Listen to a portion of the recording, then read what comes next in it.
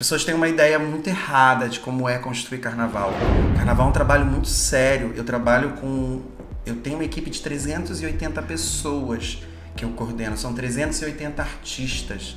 São artesãos do carnaval, que vão de costureiras aderecistas, pintores de arte, carpinteiros, ferreiros, uma série de profissionais que estão ali e ganham o seu pão o ano inteiro para construir esse espetáculo as pessoas têm essa ideia, né? Talvez até no interior um pouco mais de que é, tudo é mágica, tipo, em um mês se constrói. Você tá certíssimo. Não, isso é um trabalho muito sério. Mas assim, falando da serpente que você me perguntou, é, aquilo ali eu consegui, na, quando, quando a gente começa o nosso desfile, a gente começa com o ninho da serpente, né? Que é quando o Vodun Dambê, que é uma serpente, a serpente sagrada para os povos africanos, ela se torna um deus para esses povos.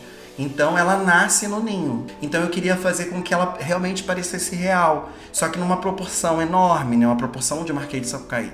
E aí eu, eu comprei um brinquedinho, aqueles brinquedinhos que você coloca a pilha, aquela cobrinha.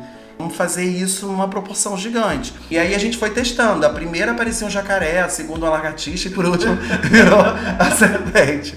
E deu tudo certo. E foi um sucesso, foi fantástico premiado como estandarte de ouro, né? Então, é, tudo, as notas também a gente conseguiu gabaritar o 10 na comissão de frente.